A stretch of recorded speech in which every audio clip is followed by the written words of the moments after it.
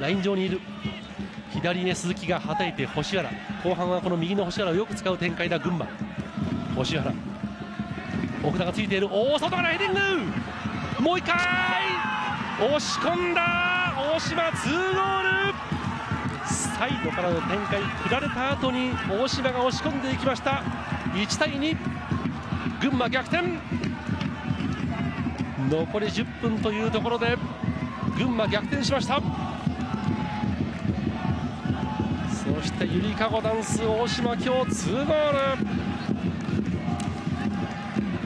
星原の展開です。ヘディングで競ったこの後でした。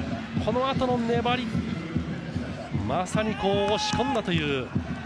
布監督曰くやりきれシュート打ち切れ。そういった指示が